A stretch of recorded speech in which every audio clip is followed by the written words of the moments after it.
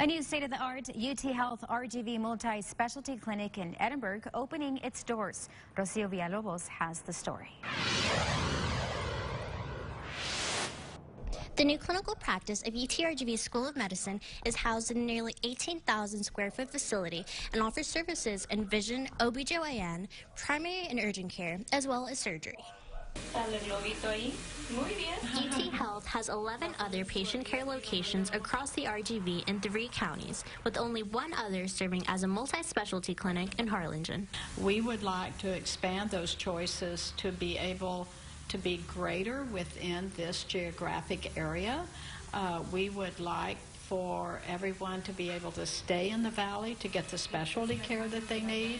Uh, and I think this is one of the uh, contributions to that. The first graduating class of UTRGV School of Medicine will receive their PhDs next spring, and Dr. Nelson says UT Health is hoping to recruit some of the future doctors. The med school in the valley is to train uh, the Valley residents, the students, but to get them to stay in the Valley. Some of the statistics will show that if you train them, uh, many of them stay where they're trained. So not only med school, but their residency. The main focuses of the facility, according to Mike Patriarca, Senior Associate Vice President of Health Affairs, are research, education, and the clinical development of the RGV area.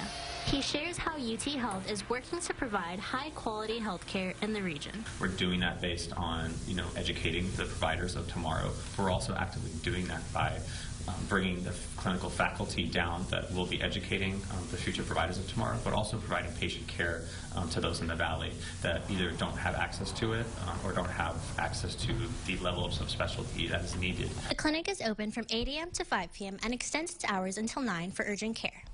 Reporting in Edinburg for Local News Center 23, Rocio Villalobos. For more information on the services available or to make an appointment, visit uthealthrgv.org.